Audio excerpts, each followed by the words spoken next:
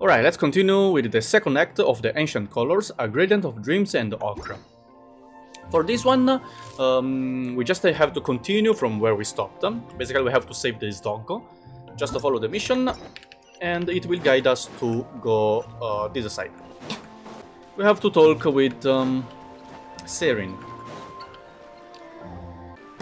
Okay, we need to collect uh, strange parts, uh, in total 4 of them.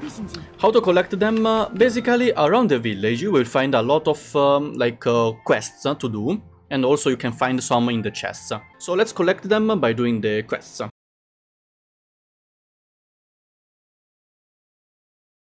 Finally guys, we got all the 4 parts, basically that girl will give you one, right? So you still need 3 of them. Just to follow this guide of where it's so easy, the first part will give you one, then a fishing game quest, really short to give you another one, and then hey this is hey this isn't hey this isn't pumpkin soup. After you got all the 4 parts, let's continue with the world quest, the main world quest. So back to Mamere, at her house, here.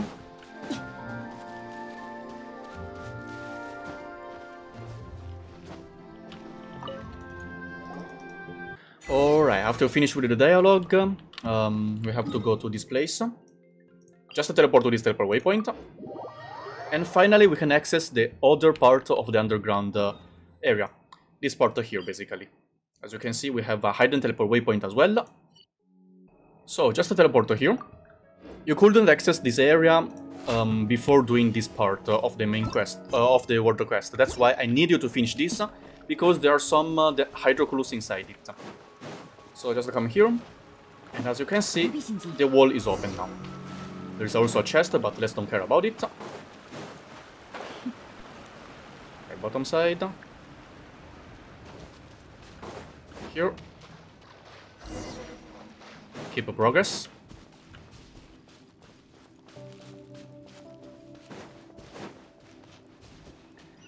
Nice, let's go activate it. Font of all waters. This is the last teleport waypoint, so now we unlocked all 39 teleport waypoints of Sumeru. Uh, okay, let's let's go fight and help uh, Seymour. After we fought, the chest will spawn, but let's don't care about it. And keep progress with the world quest. We have to go downside, in the water. Okay. Just dive. And go toward the bottom side here, near to the rock. When you get close, a small uh, dialogue will appear, but there's still one trapped inside um, that ball. To rescue this one, we need to get the power of uh, this, so just attack with the normal attack to get the power, then hold your skill, unleash. Hold, unleash. Behind, there's another one, hold, unleash. Time to bring them to home, so just uh, follow this place, bottom side here. You can use these fishes to restore stamina and HP. Here we find a super big conch, but uh, there's nothing inside, you cannot even go inside it. Here, interact with this thingy. It will make you fly like this. I mean, swing faster.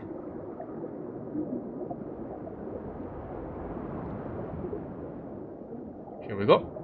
This is the house. Uh, actually, not yet. It's a bit more ahead.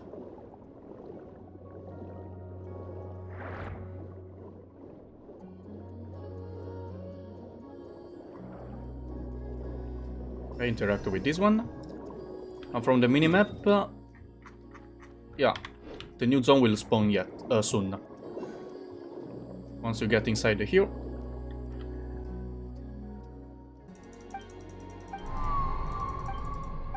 And yeah, you can see, this is the last section of the map underground. That zone with the barrier we cannot get inside yet, so just don't care about it. We can come back in future in the next, in the another world quest. But for now, just go here, above, go upstairs.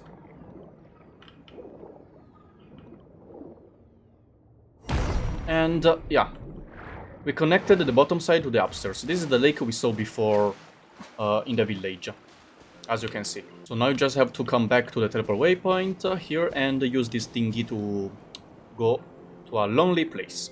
Let's go.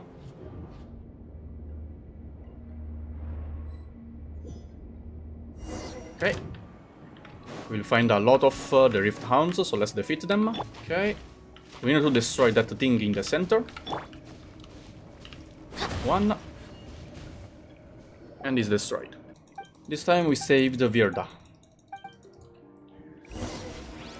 Okay, time to fight. Let's go. After killed, we can keep progress. Come on, come on. Here we go. Act 2 done. Blue Longing and Heart and Moon. This is the... No, Blue Longing of Heart and Moon.